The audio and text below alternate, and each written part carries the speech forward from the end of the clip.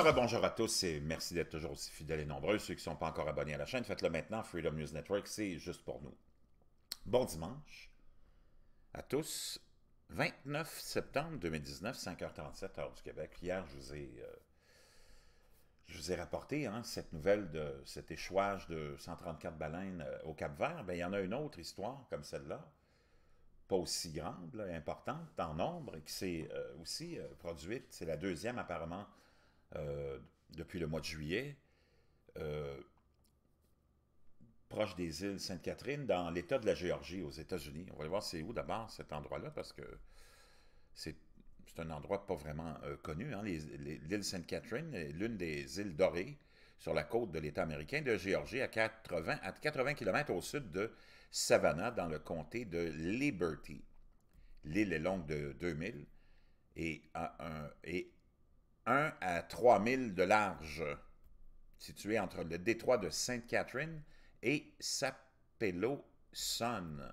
Plus de la moitié de ces 14 640 hectares sont des marais et des zones humides. Environ la moitié de celle-ci est composée de marais salants. Environ un quart est boisé et possède de belles plages. Il appartient à la St. Catherine Island Foundation et n'est pas ouvert au public. Donc, c'est vraiment un endroit euh, qui semble isolé hein, ou en tout cas protégé du euh, public ou d'une influence euh, incontrôlée. Donc, il y a environ euh, deux douzaines de globicéphales qui se sont échoués sur une île barrière de Géorgie, à proximité hein, de, la Géorgie, à cette frontière-là, de cette île Sainte-Catherine. On nous dit qu'il y a au moins une quinzaine de ces, de ces baleines qui ont été retrouvées. C'est la deuxième histoire d'essais en masse depuis de l'espèce de baleine, de cette baleine qui s'échoue le long de la côte de l'État depuis juillet. Environ deux douzaines de globicéphales se sont échoués sur une île barrière de Géorgie à proximité, et à proximité, faisant au moins 15 morts. Les scientifiques procèdent encore là à des euh, nécropsies sur les baleines mortes trouvées euh, sur l'île privée de Sainte-Catherine, à environ 40 km au sud de Savannah, afin de savoir pourquoi ces animaux auraient pu euh, se retrouver là. Hein. Les baleines échouées de l'île Sainte-Catherine ont été découvertes mercredi matin par un groupe de volontaires qui vérifiait la présence de nouveau-nés dans les nids de tortues marines. D'autres ont été trouvés sur les plages et les marais à proximité. Environ 26 globicéphales noirs ont été repérés dans la région et les équipages fouillaient les eaux environnantes à la recherche de, traces, d'échouage supplémentaires. Donc, c'est la deuxième fois depuis juillet qu'on retrouve euh, un groupe de ces baleines-là euh, mortes. Donc, c'est la deuxième, euh, le deuxième groupe important de cette espèce-là qui s'échoue le long de la côte euh, de la Géorgie depuis juillet. Donc, des scientifiques vont procéder à des nécropsies sur ces baleines mortes trouvées sur l'île privée de St. Catharines.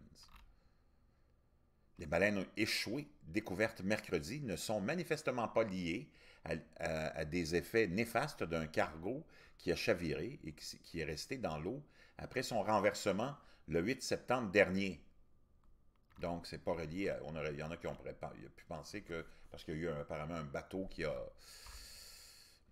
euh, qui s'est renversé, un bateau cargo, mais ça n'a rien à voir, euh, ça n'aurait rien à voir avec ça. Environ 134 baleines, comme je vous le rapportais hier, sont mortes sur une île du Cap-Vert cette semaine également. Existe-t-il actuellement des exercices sonores ou sous-marins dans le monde entier? Ça, ça peut être une question intéressante hein, explorer, mais si c'est ça, c'est bien évident que les gouvernements ne nous diront pas que la source euh, de, cette, de ces échouages-là, de ces morts de, masse-là, est reliée à des essais euh, militaires. Ça va rester secret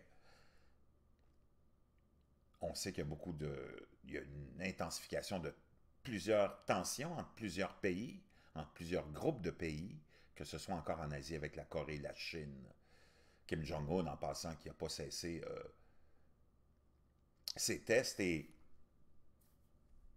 l'avancement de son programme nucléaire. On sait que la Chine procède à des tests aussi. Hein. On s'attend peut-être à certains conflits suite à des revendications territoriales qui vont bientôt faire surface, vous allez voir. Il ne faut pas oublier l'Iran, il ne faut pas oublier les États-Unis, il ne faut pas oublier euh, plusieurs autres pays qui, la Russie, hein, se sentent euh, menacés et font sûrement beaucoup, beaucoup de tests militaires. Est-ce que ça, c'est une piste à suivre? Ben, c'est parce qu'elle est insuivable, cette piste-là, parce que c'est top secret. Donc, si c'est ça, on ne le saura jamais. On, ça ne sera jamais confirmé.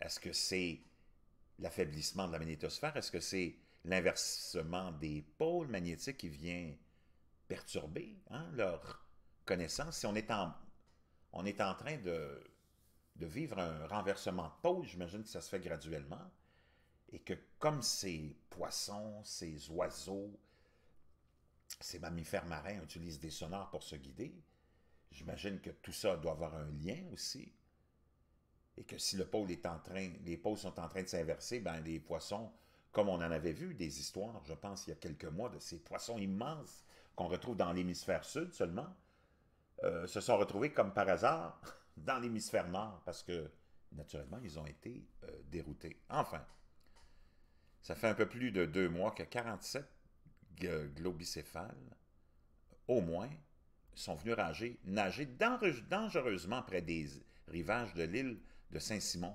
encore là dans le même coin, trois de ces baleines sont mortes. Donc, j'ai un élément de réponse, parce qu'hier, je vous en avais demandé un, un élément de réponse, de réagir à, ça.